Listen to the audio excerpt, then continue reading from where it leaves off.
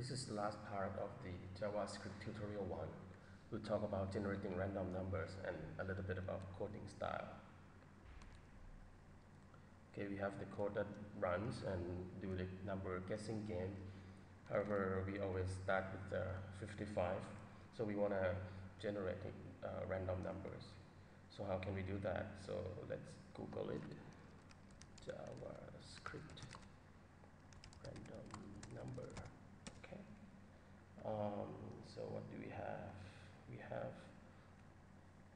uh, W3 School. Uh, you should avoid this. Uh, it's it's not a very good uh, accurate site. Um, there's something here generating a random number. This is the library from Mozilla homepage, and there's some stackoverflow.com. All right, so this is the function that we're going to use, uh, math.random. And there's a question answering forum in, in Stack Overflow that talk about generating generating random numbers. Okay, so and this is this look like it is a code. Okay, that we want. Okay, so math.random gives you a random number between uh, zero and one. It's gonna be. It's not gonna be one. It's something slightly less than 1. It's a floating point. So um, if you want to generate a, a, ran a, random number between 1 to 100, we can do something like this. Uh, math, math.random, and I'll multiply that by 100. So now we get something from 0 to uh, something slightly less than 100. So we can do, okay, so let's look the look at the code in Stack Overflow. It says uh, math.floor. So this would uh, route, route down a, a, floating point number to the nearest smaller integer. So we do the math math.floor. This, but then we get from 0 to uh, 99, so we add 1 here, and we should be done. So let's try it one more time. Say 55. Too low. Okay. 70. Too low. 90. Too high. 80. Too low. 85. Too high. 82. Too low. 84. Too high. 83. All right so we get this random number okay so when you get stuck you should uh, try to figure out and then you can use Google and just add this JavaScript keyword and you usually get some the piece of code that you, you want okay? So before we finish our uh, introduction to JavaScript tutorial 1 I would like to talk a little bit about the coding style.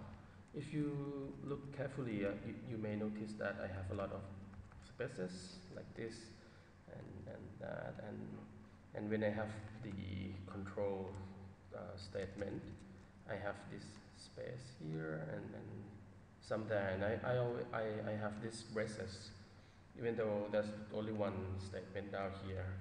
And I use uh, four spaces. This is the what we would call uh, coding style. So if you write it, your program like this without space, the, the, the browser and, and the computer can, can definitely run it because it doesn't care. Okay. However, it's the, the code like this is very hard to read. So um, when, when we write the code, we want the code to be easy to, to we, we want to amplify re readability.